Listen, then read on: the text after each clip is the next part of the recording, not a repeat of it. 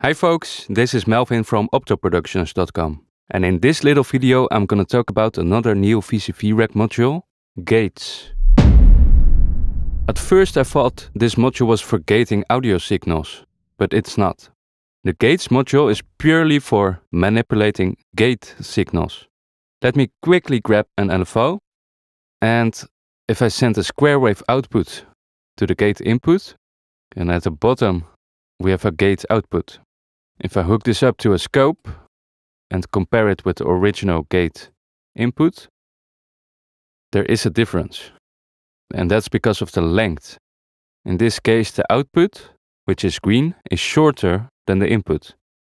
So we can manipulate the gate length with this knob. Note that the gate length longer than the initial pulse width will result in a signal stuck at high output.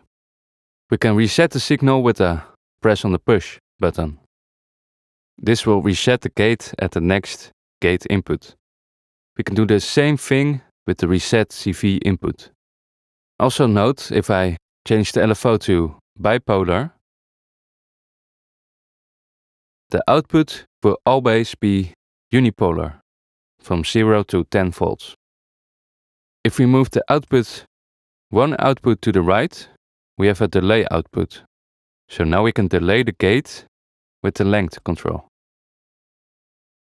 If I quickly add a noise module and two VCAs, you will hear the result. So I'll send the original gate to the left VCA and the delayed output to the right VCA.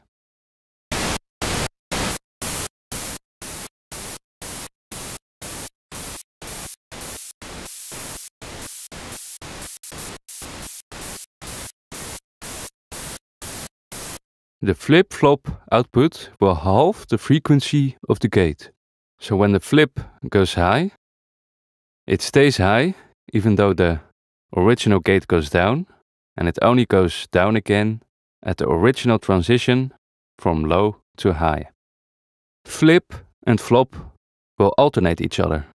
A simple use case for this is a clock divider. But since we have two outputs, we can connect different sounds.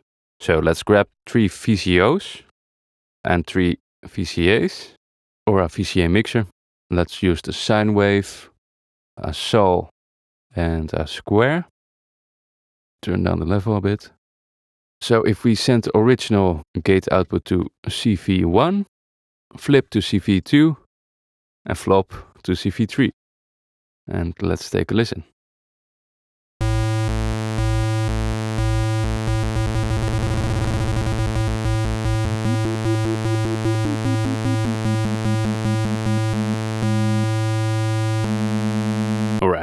The two outputs at the top will generate a trigger when it detects a rising edge or a falling edge.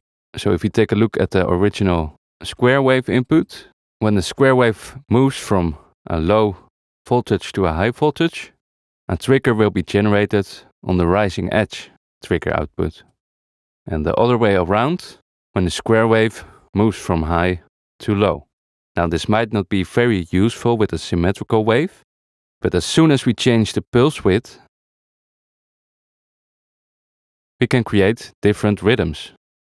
So let's uh, add our pico drums and connect the rising edge output to trigger 1 and the falling edge to trigger 2.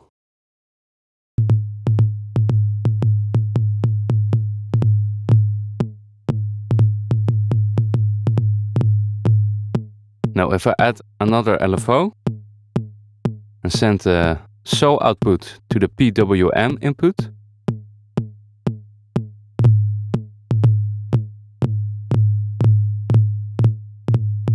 decrease the rate a little bit.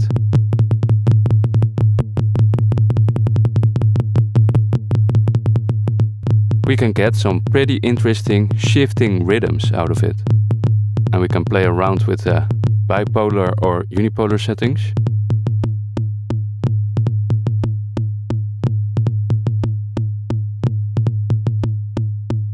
And we can play around with the ratios, of course.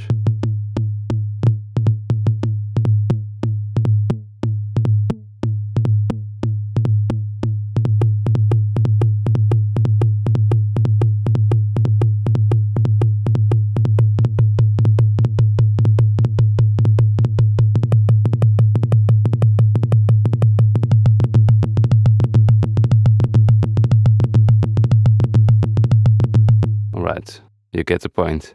Okay, so that's it for this gates module. There's really not much more to it, but it's definitely a useful tool to have in your arsenal. I'll leave it up to you to come up with creative use cases, and I'll be back next week to talk about the other two new utility modules. I'll see you then.